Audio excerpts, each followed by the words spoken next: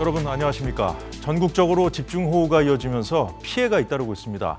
오늘은 기상 상황 자세히 살펴보면서 대비책까지 점검해보는 시간 마련했습니다. KBS 재난방송 전문위원인 정창삼 인덕대학교 스마트건설 방재학과 교수, 신방실 KBS 기상 전문 기자가 함께하겠습니다. 안녕하세요. 네, 지금 오늘 아침까지 서울에도 세찬 비가 내렸는데 네네. 어, 지금은 잠시 소강 상태 맞죠, 신 기자? 네, 그렇습니다. 오늘 아침 음. 출근길에 수도권을 중심으로 매우 강한 비가 집중이 됐습니다. 최근 충청이나 남부지방에서 장맛비 피해가 컸는데 네. 이제는 중부지방에도 거센 장맛비가 시작이 된 겁니다. 음. 오늘 새벽에 위성 영상을 한번 보겠습니다. 예. 정체 전선이 중부지방으로 북상을 하면서 강한 비구름이 유입이 됐는데 요. 레이더 영상을 보면 네. 보라색으로 보이는 강한 비구름이 의정부와 파주 지역에 시간당 100mm가 넘는 극한 호우를 뿌렸습니다. 또 오전에는 띠 모양의 비구름이 서울로 밀려들면서 예. 성북구에 시간당 84mm의 폭우가 쏟아졌는데요. 음. 지금은 강한 비구름이 북동진하면서 북한 지역으로 향하고 있어서 비가 예. 잠시 주춤한 상태입니다. 어, 지금 방금 전에 이제 신 기자가 여러 표현을 썼는데 띠 모양이라 고 했고요. 네. 또 정체 전선이라고 했습니다, 교수님. 네. 지금 이 정체 전선이라는 게 장마 전선이 아직 머물러 있는 건가요? 그렇습니다. 지금 현재 형태는 계속 장마가 이어지는 걸로 볼 수 있는데요. 지금 중국에서 발달한 수증기들이 계속 유입되면서 일어나는 예. 현상이라고 할 수 있습니다. 음, 그렇군요. 자, 또 극한 호우라고 했어요, 신방실 기자. 네. 이 웬만해서는 그런 표현 신 기자가 잘안 쓰는데. 네네. 보통 뭐 최근에 내리는 시간당 100mm 이상 이 정도의 비는 200년에 한 번 내릴까 말까 그런 비로 보고 있습니다. 근데 최근에 시간당 100mm를 넘는 비가 자주 예, 예. 이번 장마 들어서 나타나고 있기 때문에 올여름 정말 극한 호우가 new normal이 되는 어, 음. 장마철이 아닌가 이렇게 보고 있습니다. 그렇군요. 자, 그럼 현재까지 그러면 집계된 피해 사항을 좀 잠시 점검해 보고 우리가 이어가도록 하죠. 네, 어제부터 내린 장맛비로 주택 침수 등의 피해가 잇따르고 있습니다. 중앙 재난 안전대책 본부에 따르면 오늘 오전 11시까지 전국에서 164채의 주택 침수가 보고됐습니다. 산사태와 침수 위험 등으로 21개 시군구에서 주민 560명이 대피를 했고요. 예. 이 가운데 248명은 아직 집으로 돌아가지 못하고 있습니다. 음. 또 토사 유실과 도로 파손 등 시설물 피해가 30건이 접수가 됐고요. 예. 그리고 도로와 지하, 지하차도가 전국에서 14곳, 그리고 음. 둔치 주차장과 하상도로는 47곳이 통제되고 있습니다. 여객선은 서해 28개 항로 48척이 운항을 중단했습니다. 예. 예, 교수님 아직 집으로 돌아가지 못한 분들도 계시다는데 이분들은 그렇습니다. 어떻게 좀 대처를 해야 될까요? 그렇습니다. 지금 음. 비가 그쳤다 오다를 굉장히 반복하고 있는데요. 예. 문제는 뭐냐면 오는 비가 너무 강하게 온다는 겁니다. 그리고 오는 시간을 정확하게 예측하기 어렵다는 게 굉장히 위험한데요. 그렇군요. 특히 산사태가 상당히 우려됩니다. 왜 그러냐면 음. 어, 비가 굉장히 강하게 온다 보면 토양들이 대부분 이제 우리가 fully saturated 돼 있다 그래 가지고 네. 부- 그러니까 토양 수분이 거의 100% 까지 차 있는 상태거든요. 음. 이 물이 적절하게 빠져주기 전에 또 다시 강한 비가 온 경우는 산사태가 일어날 확률이 높기 때문에 예. 오늘 경기 북부라든가 음. 어, 수도권 중에서도 산, 산이 있는 지역에서는 산사태를 좀 유의해야 될 것 같습니다. 예. 조심하셔야겠습니다. 자, 신방실 기자. 네, 전남 지역에 어제였죠. 네, 네. 벼락이 하루에 네. 4천 번 넘게 4천 번 가까이 쳤다고 네. 그러던데.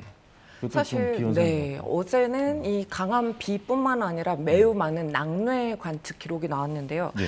전남 지역에 어제 4천 번이 넘는 낙뢰가 쳤다. 이거는 7월 한 달 평균에 칠 낙뢰와 거의 맞먹는 정도로 4천 번이 많이 넘, 친 겁니다. 거군요. 네네 하루에만? 그렇습니다. 음. 그래서 낙뢰는 일단 대기 불안정이 극심할 때 음. 치는데 어제 새벽부터 전남 지역에는 정체 전선이 머물고 있었습니다. 예. 이 정체 전선 남서쪽으로는 뜨거운 수증기가 밀려오고 북쪽에 건조한 공기가 버티 고 있으면서 음. 그 경계 지역에 굉장히 강력한 비구름대가 폭발적으로 발달을 했고요. 네. 그 사이에 낙뢰가 많이 쳤는데 특히 비구름이 오래 정체하면서 음. 그 낙뢰 횟수가 매우 늘어난 것으로 분석이 됩니다. 그 잇따른 낙뢰 때문에 어제 여수 국가산업단지의 석유화학 업체에 정전이 발생하는 등 전국 곳곳에서 피해가 예, 속출했습니다. 예. 어, 이 정체 전선 비구름대가 움직이지 않고 가만히 있으면 낙뢰가 네. 많이 칠 수 있다는 사실을 네, 좀 그렇죠. 알려주셨는데 네, 네. 교수님 지금 신 기자가 말미에 간단히 얘기했습니다만 그 낙뢰로 인해서 좀 피해가 좀 있었거든요. 그렇습니다. 예. 어, 낙뢰 같은 경우는 굉장히 이례적으로 집중적으로 오기 때문에 굉장히 저희들이 주의해야 되는데요. 예. 특히 비가 이제 오다 안 오다를 이제 반복하다 보니까 네. 야외 활동을 계속 하시는 분들이 있기 때문에 굉장히 위험할 수 있고요. 그래서 우리가 어, 미리 이런 것들을 알기가 굉장히 어렵습니다. 왜냐하면은 어, 기압이 굉장히 순식간에 지금 보면 예보가 세시간 단위, 여섯 시간 단위로 급변하기 때문에 예. 우리가 어느 정도 예측이 된다 그러면 기상 정보를 굉장히 좀 자주 보시고요. 음. TV라든가 이런 걸 자주 보시면서 응급적으로 대응할 필요가 있다고 생각하고 있습니다. 뭐 지금 잠시 비가 그쳤네 하고 이제 뭐 이렇게 골프를 치고 나간다거나 뭐 이런 거는 하- 절대로 하면 안 되겠네요. 그렇습니다. 네. 요즘 보면은 이제 비가 오는 와중에서 또 골프장에 사람들이 굉장히 가득 있거든요. 그런데 예. 이제 이것들이 비가 어떻게 올지를 모르기 때문에 가급적으로 안전한 운, 그 운동이 될 수 있도록 우리가 조금 자제를 할 필요가 있다고 생각하고 있습니다. 예. 아, 아까 전에 이제 산사태 얘기를 해, 주셨는데 예. 그 산사태 위험이 있다는 그 조짐은 어떻게 알 수 있습니까 우리가? 그렇습니다. 온라인상으로서는 산사태 정보 시스템이 있지만 이 산사태 정보 시스템은 강우량과 토양의 특성에 따른 정보만을 제공하고 있습니다. 그 외에도 실제 현장에서 보면은 이제 지하수의 변화가 있다든가 아니면 나무의 기울어짐 아니면 또는 뭐 물길의 변화 이런 것들이 들 수 있는데요. 예. 그것보다 좀 더 중요한 건 뭐냐면 제일 최근에 일어나는 산사태의 경향을 보면 주변이라든가 산 정상부에 개발 행위가 있었던 지역들이 굉장히 어. 위험합니다. 예. 왜냐하면 강한 호우에 그런 지점들이 우리가 triggering point라 그러죠. 시발점이 돼서 이제 운- 음. 발생되는 경우들이 많고요. 그다음 작년 예천처럼 이 신규 전원 주택지 그러니까 산 예. 쪽으로 굉장히 깊이 들어간 신규 주택지들이 굉장히 좀 위험한 음. 편입니다. 그리고 마지막으로는 이제 보면 평소에 이제 물이 흘러나오던 구간이 물이 마르면서 다른 쪽에서 물이 흐른다는 것은 배수 체계가 바뀌었다는 거거든요. 음. 산에 그런 지역들이 산사태가 날 위험성이 높기 때문에 예. 우리가 주의를 해야 됩니다. 예. 자 신방식 기자. 네. 지금 잠시 소강 상태라고 해서 우리가 어, 좀 안심할 수 없는 게 최근 비 내리는 경향을 보면 야간에 좀 몰아서 네. 내리는 것 같아요. 네, 그래서 언론에서는 야행성 폭우다 이런 별명까지 붙였는데요. 오늘도 보면 낮에는 비가 조금 잦아들었다가 오늘 밤부터 다시 비구름이 강화되는데 그 원인을 보면 낮에는 대기가 불안정하기 때문입니다. 햇볕에 의해서 지표면이 가열되면서 이 대류 화- 현상이 낮에는 활발한데요. 예. 이 때문에 마찰 효과로 수증기 공급, 공급이 차단됩니다. 그러나 밤이 되면 지표면이 식고 안정되면서 수증기의 통로가 열리게 되는데 이때 하층 제트라고 부르는 강한 바람이 밀려들며 수증기를 싣고 와서 주기적으로 비구름을 강화하고 있습니다. 예. 자 야간에 비가 이렇게 많이 내리면 더 위험할 수밖에 없겠죠. 네, 그렇습니다. 사실 올장마가 제주 기- 기준으로 해선 6월 19일 시작이 됐고 중부는 29일 시작이 됐습니다. 근데 시간당 100mm를 넘는 극한 호우 소식이 예. 심심치 않게 들려오고 있습니다. 일단 오늘 아침에 의정부와 파주에 시간당 100mm가 넘는 극한 폭우가 관측이 됐고요. 어제는 진도에 그리고 지난 10일은 어청도에 역대급으로 강한 시간당 146mm라는 기록이 이렇게 세워졌는데요. 예. 시간당 50mm만 넘어도 폭포수 같은 비가 쏟아져서 어디든지 피해가 발생할 수 있고 또 시간당 100mm 이상의 비는 말 그대로 하늘에 구멍이 난 것 같은 비를 떠올리시면 됩니다. 예. 최근 극한 폭우가 이렇게 주기적으로 찾아오는 원인은 음. 중국 쪽에서 저기압이 통과하면서 건조한 공기를 싣고 오는 것이 주요 원인으로 꼽힙니다. 어. 왜냐 하면 저기압이 통과하면서 북쪽에 있는 건조한 공기를 끌어내리기 때문인데 예. 이맘때 남쪽에 확장한 북태평양 고기압에서 지속적으로 덥고 습한 남서풍이 밀려오는데요. 두 성질이 다른 공기가 만나면서 음. 강한 비구름이 압축적으로 발달해서 국지적인 폭우를 예. 퍼붓고 있습니다. 그렇군요. 이 시간당 100mm가 넘는 비가 내리는 거 new normal이라고 하셨는데 네. 자 교수님 어떻습니까? 이 전남 지역에 예. 어, 200년 만에 200년에 한 번 내릴까 말까 한 그런 폭우가 내렸다던데 예. 그 정도로 정말 많았던 거예요? 그렇습니다. 우리가 빈도라는 것은 이- 일반적으로 그 빈도의 역수를 우리가 확률이라고 생각을 하고 있습니다. 예를 들어서 보면 200년 빈도라 그러면 발생 확률이 0.5% 정도 되는 거죠. 그래서 과거의 자료를 가지고 통계 분석을 통해서 이, 이루어지고 있는데요. 문제는 뭐냐면 예. 우리가 수공 구조물이나 방제 시설물을 만들었던 시기가 한 30년, 40년 전이라 그러면 그 전의 자료를 가지고 만들었던 거죠. 근데 지금 30년, 40년 최근 5년 동안 모든 기록들이 갱신되고 있는 거죠. 그렇다면 그 얘기는 뭐냐면 200년 빈도라는 기준이 확 달라졌다는 겁니다. 예를 들어서 보면 예전에는 이제 100년 빈도 였다라고 하면 예. 지금은 한 30년 20년 빈도로 이제 떨어지는 거죠. 그래서 그만큼 이제 기후 위기가 우리에게 다가왔다는 걸 보여주는 그런 데이터라고 할 수 있습니다. 예, 앞에 신 기자가 보여준 그 데이터 보니까 어, 어청도에는 시간당 146mm가 내렸다고 그래요. 예, 그렇습니다. 네. 어, 우리 방재를 하는 사람들도 시간당 100mm가 온다라는 걸 음. 일반적으로 한 5년에 한 번 정도 아주 강한 태풍이 왔을 때 정도 경험하는 강도거든요. 근데 금년 우리가 기상 관측을 보면서 저는 굉장히 놀랐습니다. 왜냐하면은 어, 이렇게 짧은 기간 동안 이렇게 많은 100mm 이상의 강우가 전국적으로 발생을 하고 있고 예. 그다음에 이게 뭐냐면 순식간에 왔다가 또 금방 이제 음. 비가 그치는 거죠. 이런 것들을 보면 우리가 앞으로 방제라는 패러다임을 좀 바꿔야 된다라고 저는 어. 생각합니다. 왜냐하면 예전의 장마는 조금 낮은 강도로 오랜 기간 왔습니다. 이 경우는 음. 대하천의 홍수 범람 이런 것들을 우리가 주의해야 되지만 예. 지금과 같이 아주 짧은 강우 강도로 순식간에 오는 경우는 음. 도시의 내수 침수라든가 이런 쪽에 문제가 더 생기는 거죠. 그 도시 하천. 예. 그렇기 때문에 우리가 도시 방제에 대한 패러다임을 조금 바꿔야 될 때가 되지 않았나라고 생각하고 있습니다. 예, 우리가 더 걱정할 수밖에 없는 것이 언제 어디에 이런 그 집중호우가 내릴지 모르는 예측하기 좀 점점 더 어려워진다는 거 아니겠습니까? 그렇습니다. 만약에 어청도에서 내린 그 비의 양이 그만큼 이제 도심에 내렸다면 어땠을까 좀 아찔한데요.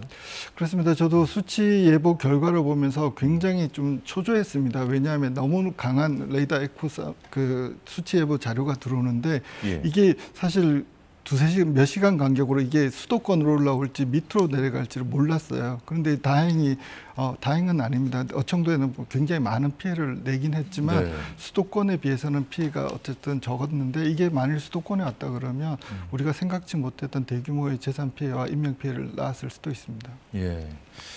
어, 이 방제 패러다임을 바꿀 필요가 있다는 네. 말씀까지 해주셨는데, 자, 신 기자.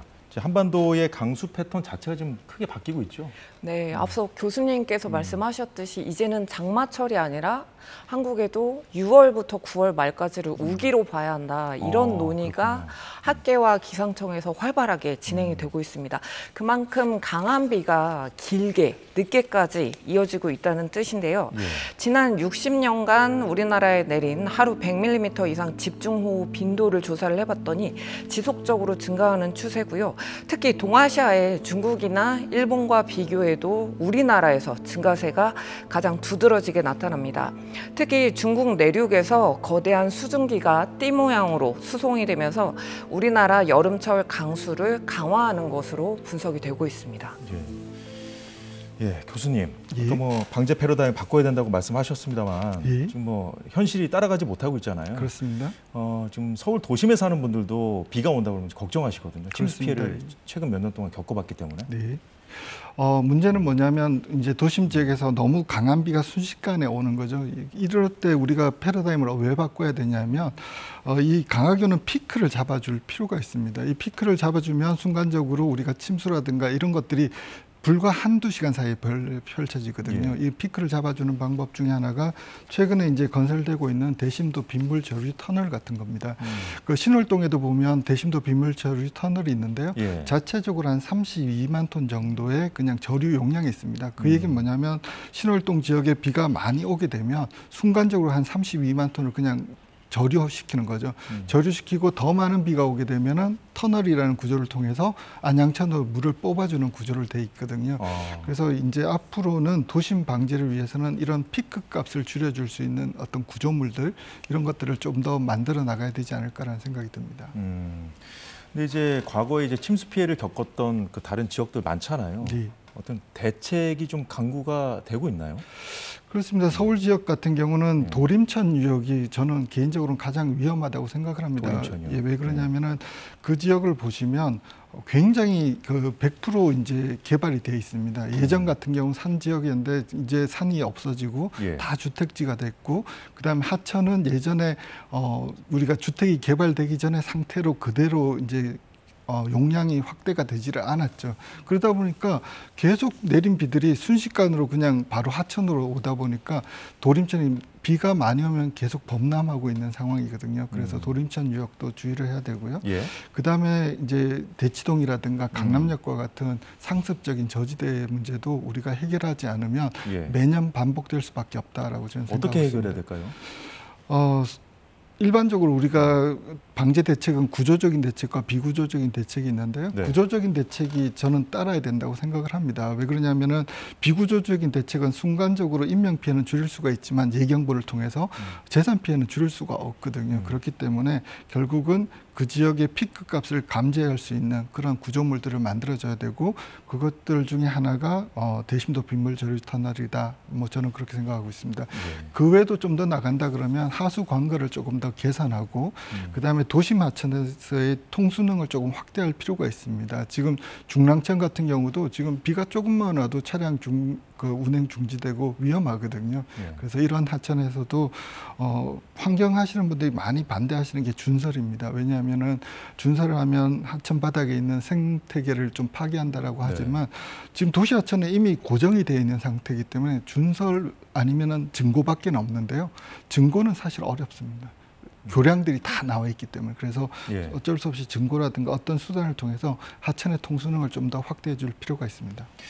예, 그렇군요. 자, 신 기자, 앞서 네. 뭐 뉴모, 뉴멀이라고도 네. 말씀을 하셨습니다만은 이 시간당에 최대 100mm 이상 오는 경우가 아주 드물다면서요. 네, 네. 근데 이제 140mm도 오고 막 그런 네. 상황이라면 네, 그렇죠. 예측하기도 좀 어렵고 네, 맞습니다. 대비하는 데 좀 한계 정도 있을 것 같아요. 네, 사실 국지적인 비가 순식간에 또 쏟아지고 음. 그러면서 침수나 뭐 붕괴 같은 피해가 반복이 되고 있는데요. 예. 사실 이런 상황에서 가장 중요한 건 재난이 예고됐을 때 사전에 그 위험성을 인지하고 안전한 곳으로 서둘러 대피를 하는 거라고 생각합니다. 아, 예.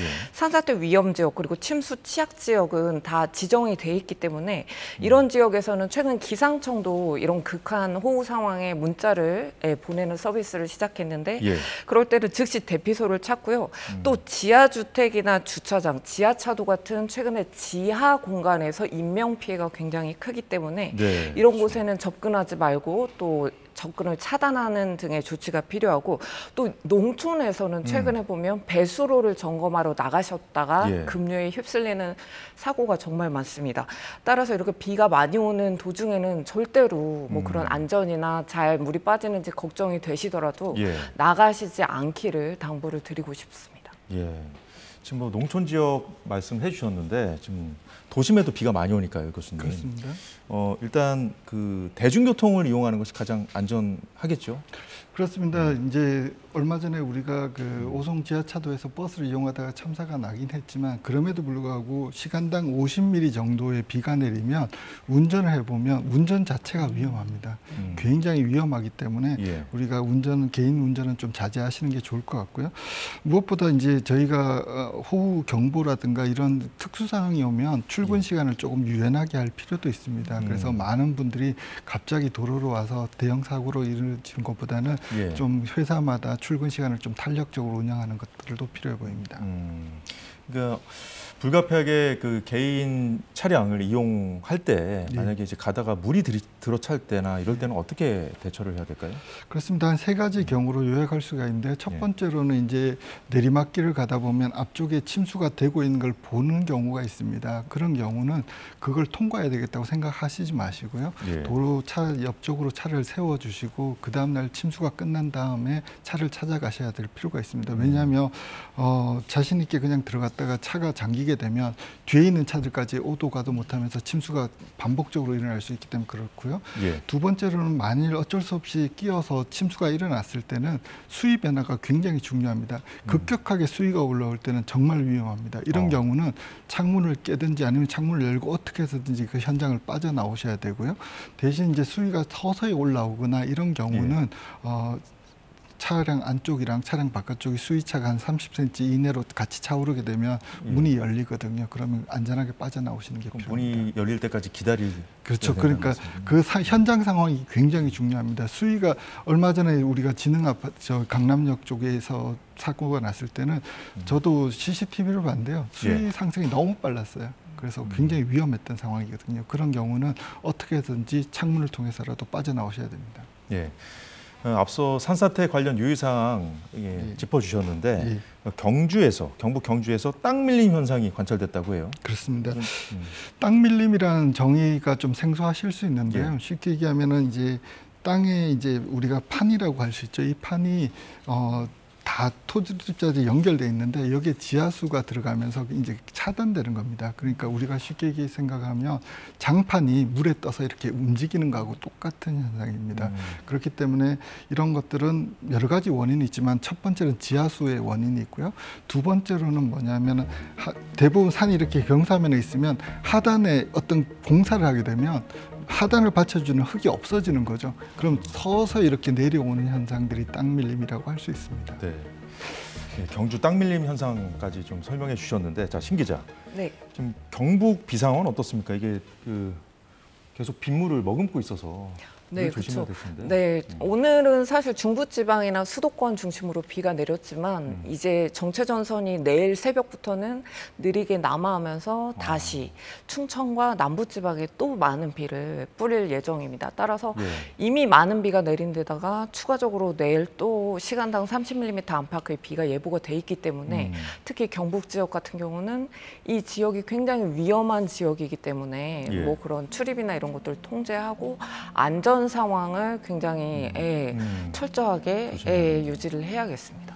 그 밖에 뭐 충청이라든가 뭐 네. 수도권 어떻습니까? 네, 그러니까 이제 비 슈퍼컴 강수 예측을 보면 예. 오늘 늦은 밤부터 다시 중부지방에 시간당 최대 70mm가 넘는 빗줄기가 이어지고 또 네. 내일 새벽에는 충청과 남부지방으로 비구름이 내려가서 어. 시간당 30mm 안팎의 호우가 예상이 됩니다. 이번 비는 전국 대부분 지역에 모레까지 이어지겠는데 네. 일단 내일까지 예상 강수량은 수도권과 충청에 최대 200mm 이상, 그리고 강원 영서와 전북, 경북 등지에도 최대 150mm가 넘는 곳이 음. 있겠습니다. 일단 모레까지 대비를 해야 되겠고 네, 네. 그 이후에는 또 없습니까? 하도 이제 없어질 뻔한 줄 알았는데 또 장마 전선이 또 있다고 네, 그렇죠. 사실 반복되니까요. 주변에서 장마가 언제 끝나냐 예. 이런 질문들을 저는 또 많이 받는데 음. 일단은 중기예보 상에는 충청과 남부지방은 이번 주말까지 비가 들어 있고 예. 그다음에 중북부 지역은 다음 주 초까지 비가 들어 있습니다. 그래서 장마가 언제 끝날지는 지금 조금 더 기다려 봐야겠지만 예. 어, 한 가지 확실한 건 이번 주가 최대 고비가 될 것이다라는 아, 점입니다. 예. 평균적으로 장마는 6월 말에 시작해서 7월 말까지 한 달 정도 지속이 음. 되기 때문에 그 한 달이 만약에 평균적으로 간다라고 하면 거의 끝날 시기가 됐기 때문인데요. 예. 아직 장마가 끝나지도 않았지만 올 여름 이 장마철 강수량이 장마철 전체에 내리는 비와 거의 맞먹을 정도로 많은 비가 내렸습니다. 예. 또 기상청 장기 전망을 보면 장마가 끝나더라도 8월 상순에 평년보다 많은 비가 내릴 것으로 예보가 돼 있어서 이런 것들을 뭐 휴가를 잡는다든지 할 때 이런 폭우 상황을 좀 고려를 해서 예. 예, 잡으시는 게 좋을 것 같습니다. 좀 폭우가 잦아들면 또 폭염이 오잖아요. 네. 그렇다 보니까 나타나는 것이 이제 복합 재해라고 하죠. 네, 맞습니다. 최근 추세를 보면 폭우가 잦아들면 곧바로 폭염이 나타나고 또 오늘도 보면 지금 제주와 호남 지역에 이 폭염 특보와 주의보가 내려져 있습니다. 경보와 네. 주의보. 바로 이렇게 폭우와 폭염이 번갈아 나타나거나 아니면 동시자발적으로 나타나는 걸 예. 복합 재해라고 하는데요. 이 장마철에 폭염, 폭우, 음. 그리고 산불이나 가뭄 같은 이 복합 재해가 계속 이어질 수 있는 만큼 예.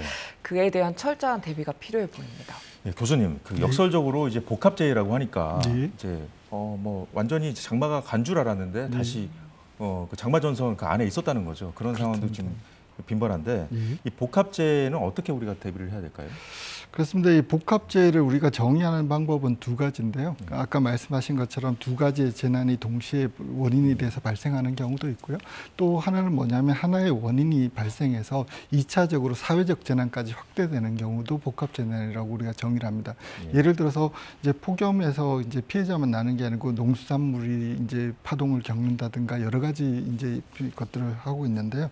이제 앞으로 제가 볼 때는 앞으로 시대는 복합 재난의 시대라고 생각을 하고 있습니다. 예. 그러니까 어, 지금은 우리가 장마를 걱정하고 폭우를 걱정하고 있지만 제가 볼 때는 금년 내로 또 어, 가뭄을 걱정할 수도 있습니다. 그래서 이러한 것들이 번갈아 가기 때문에 우리가 지역별로 어떤 우리가 적응 대책을 반드시 마련해야 된다라고 생각을 합니다.